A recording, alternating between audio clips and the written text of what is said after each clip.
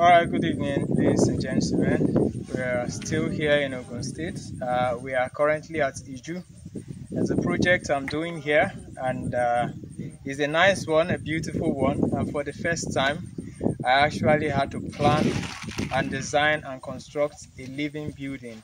Of course, I'm not a building engineer in the sense of building houses. I only build farmhouses, but for the first time, I had to build the farm quarters, uh, a two-bedroom flat. So don't ask me how I was able to put up the plan. Don't worry, when we get inside, I'll tell you the secret. But it's actually the first uh, building, uh, living quarters I'm actually designing and building on my own. So I will allow you to assess, uh, give your own opinion on that. All right, so why I brought you outside is because of the soil. Uh, many persons are faced with the challenge of getting the right type of soil. So you can see this is the exact type of soil that is required for the concrete pens. So you see how black it is and the humus content of the soil. And also it has good organic content. Now you see it, this is a plastering sand. This is what some persons will always go and bring. Uh, this is not ideal for the uh, production inside the concrete pens. So this is what they use for plastering here. You can see the difference. And this, this is what they use to plant flowers. Uh, by the roadside, you see some horticulturists planting flowers. This is what they use to plant those flowers. So you can always meet them to get you a link to how you come about the soil. Of course, places like Lagos, they are very advanced. You easily don't find this, but I think you can get it more easily in Ogun State and the environs outside Lagos. So for you to have access to it, locate people that plant flowers, horticulturists, and uh, of course they will give you the right type of soil. And this is not what you need at all. So this is the right type of soil. So we are going to prepare this for the concrete pens. So now I'm going to take you inside and first we'll go straight to my uh, personally designed uh, two bedroom flat. Then I'll take you to the farm quarters which uh, we are actually still working on. Alright, so this is the gate. And here is our building. So you can see the face of the building.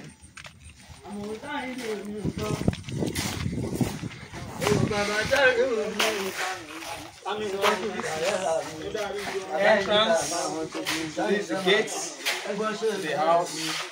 And, and we come in like this. This is the toilet for the visitors you can just show them? That's the visitors toilet. So you see what it looks like.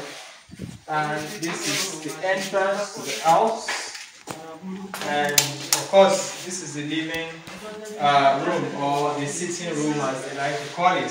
So it's freshly built. So of course you see we've not plastered because work is still ongoing but at least for now we're complete with the internal work so this is the dining here's the parlor the sitting room and here is the dining so you can have your dining chairs and your dining table here and have fun.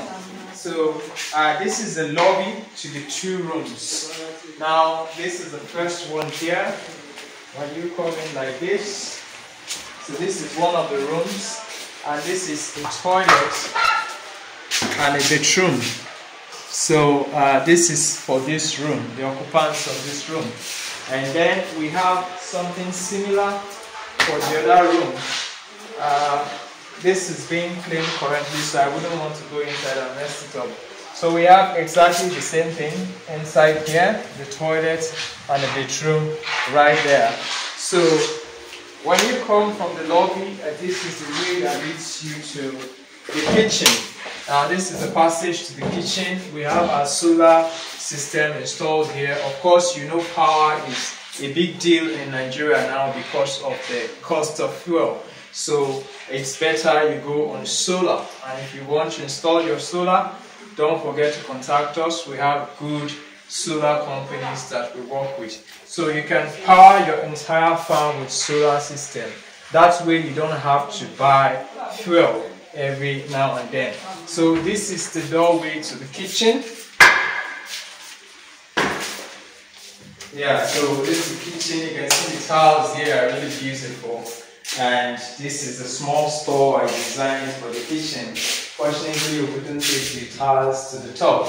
So uh, yeah, we have protectors everywhere. So this is my personal design. And of course, I'm not a construction or uh, building engineer. I'm an animal scientist. I design farmhouses. I build farmhouses.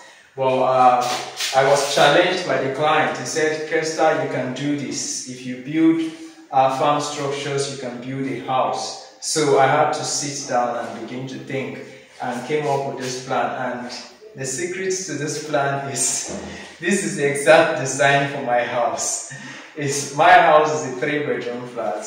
So what I did was to take out the guest room and make it a two bedroom flat because the guest room makes it a three bedroom. So all I did was to draw my own house and take away the guest room and you have it. So that's the secret. So if you want to build your house, get a competent engineer.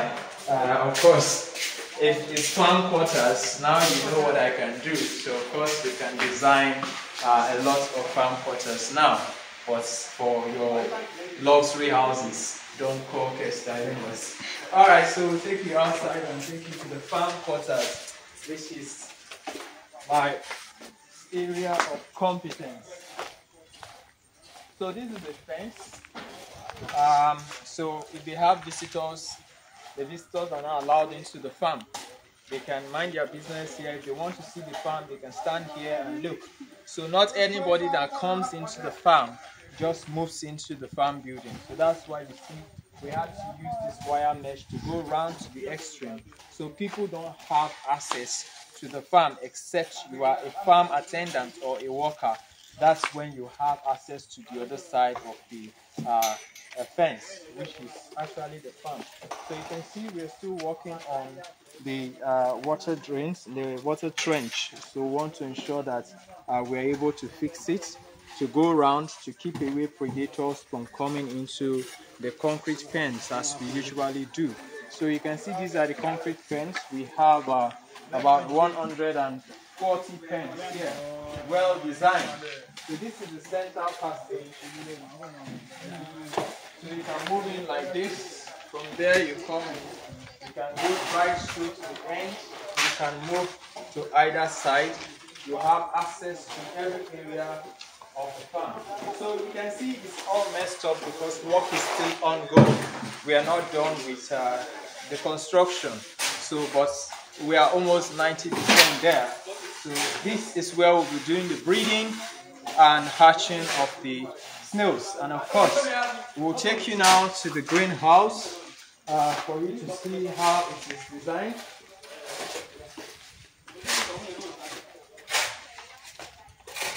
So this is the greenhouse and I'm sure it's the first time you're seeing a greenhouse with a white cover in our videos. Now the thing is we are always and constantly looking at ways to improve our farming uh, enterprises. So we are not just stagnated in one place depending on one technology or one technique. So uh, why I came up with this, I've been researching as you would know, I came into the black net. I was doing something else before I came into the black net, the black shade net. And now I'm using the white shade net. That's because I've been researching. And from the researches, I found out that the visibility for the black shade net is not so high compared to the white. And the quality of the net is almost the same. Now, if you come inside, you can see the sun on my face. The sun is at its peak but if I go inside you will see it's almost uh, uh, cool inside. Now these are the walkway the steps. You can move in to the so because we just finished we have not installed the sprinklers but uh, we've just finished putting the walkway and installing the net so these white nets helps to produce more visibility and that will help the vegetation to grow. And it also have the same cooling effects that the black net has.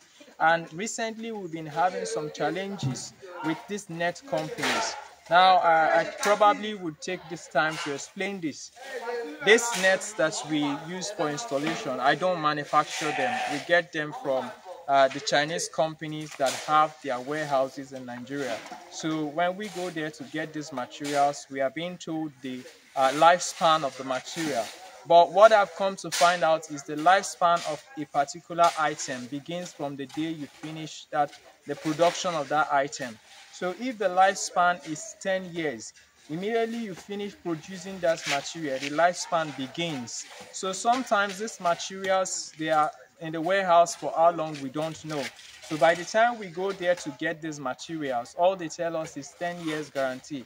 And at the end of the day, you find out that in two years, the material is gone. In six months, it's gone. That's because those materials must have been kept in the warehouse for a very long time. And we do not have ways of knowing the longevity or how long it has stayed in the warehouse. Of course, people are not always honest.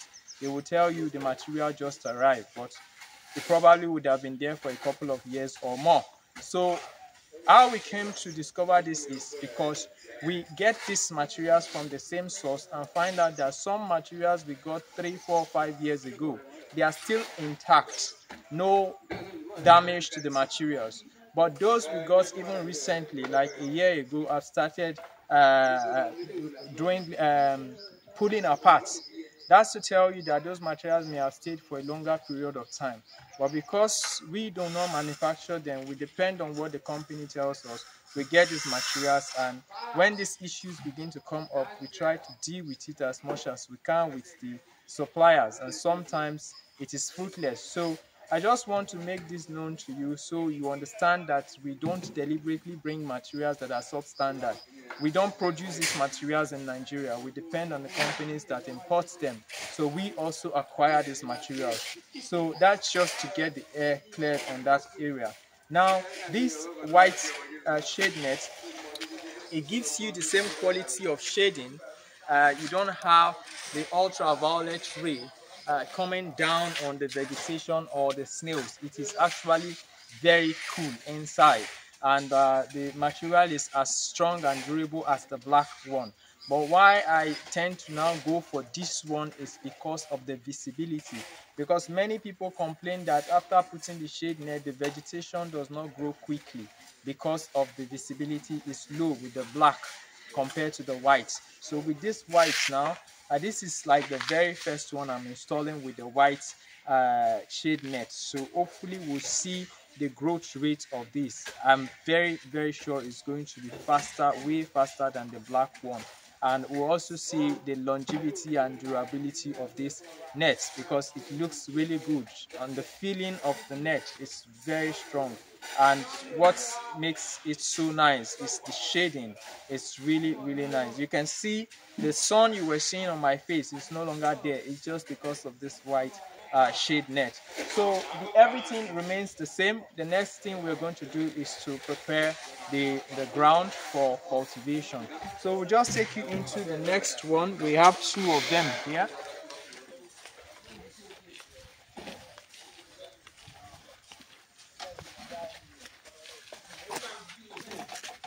So this is the walkway. You can see the living quarters is separated from uh, the farm itself.